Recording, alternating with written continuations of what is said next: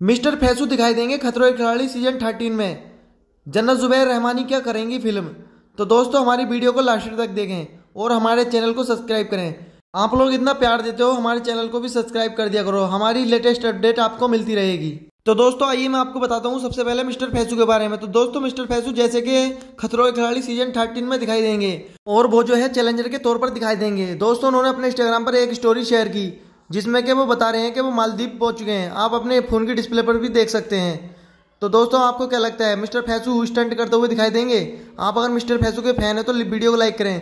तो दोस्तों, आइए अब बात करते हैं जन्नत जुबैर के बारे में। तो दोस्तों, जैसे कि अभी उनका फ़िलहाल में एक इंटरव्यू आया था टेली मसाला पर, उन्होंने अपने टेली मसाला इंटरव्यू में बताया है कि एक्टिंग के लिए उनके दिल में एक अलग जगह है। जिसे कोई नहीं निकाल सकता।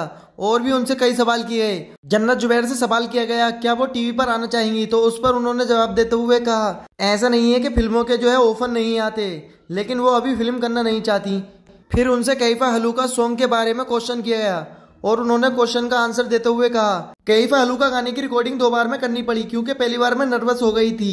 तो दोस्तों, आपको ये वीडियो कैसा लगा? हमारे वीडियो को ज़्यादा से ज़्यादा शेयर करें, और चैनल को सब्सक्राइब करें। हम इसी तरह की अपडेट लाते रहते हैं। मिलते हैं नेक्स्ट वीडियो में. Thank you for watching